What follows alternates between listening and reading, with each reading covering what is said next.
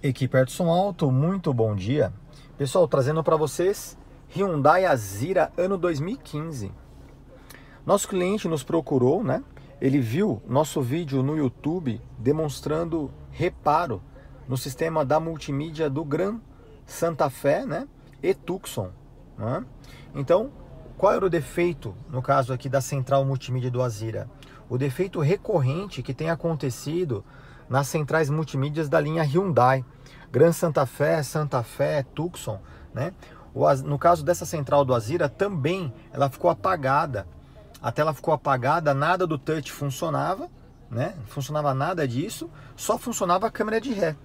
É, eu vou engatar aqui marcha ré para vocês verem, ó. Câmera de ré funcionando perfeitamente.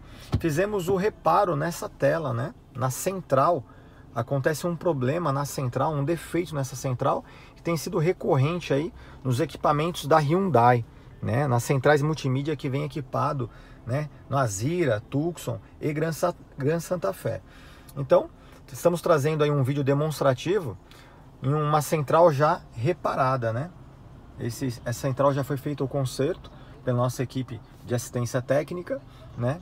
E agora já montamos aqui e estamos trazendo aí o resultado para vocês, tá? Caso tenha algum conhecido ou se você tem um, um Azira passando pelo mesmo pro, problema, Gran Santa Fé ou Tucson, pode nos procurar que fazemos aí o reparo deixando todas as funções é, reparadas e funcionando conforme original de fábrica, tá certo? Fazemos orçamento sem compromisso, de 3 a 4 dias fica pronto o orçamento, então seguimos com o reparo, tá certo? É, equipe Edson Alto. Nós ficamos localizados na rua Francisco Alves, 166 Lapa, Vila Romana, né? aqui na cidade de São Paulo. Aguardamos o seu contato e a sua visita. Um excelente dia para todos e uma maravilhosa semana.